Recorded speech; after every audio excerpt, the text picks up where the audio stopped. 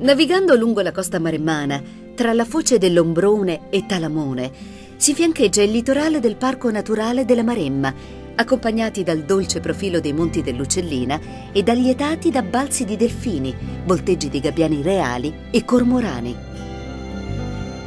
I panorami che potrete incontrare sono suggestivi e incantevoli, soprattutto per varietà e ricchezza di diversi ambienti naturali.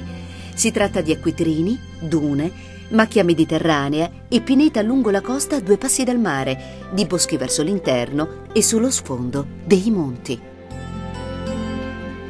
Dal marina di San Rocco, facendo rotta verso sud, poco oltre la foce dell'Ombrone, si costeggia l'ampio arenile di Colle Lungo, piuttosto selvaggio, ove talvolta potrete addirittura trovare mucche distese sulla spiaggia.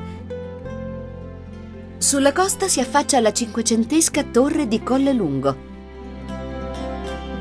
Proseguendo verso sud-est, si apre un tratto di costa alta e rocciosa digradante sul mare, fino a Cala di Forno, a circa 4 miglia a sud della foce, splendido ancoraggio nel cuore del parco. A chiusura dell'insenatura domina l'omonima torre cinquecentesca, ormai ridotta a rudere. Da non perdere poi un bagno con eventuale snorkeling alla spiaggia delle Cannelle, dominata dalla omonima torre.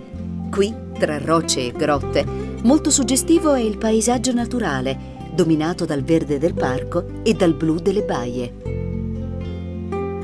Continuando la navigazione verso sud, poco prima di giungere a Talamone, ai margini meridionali del parco si staglia il promontorio di Capoduomo. Sulle pendici la cinquecentesca torre circolare, edificata per proteggere la baia da eventuali attacchi nemici.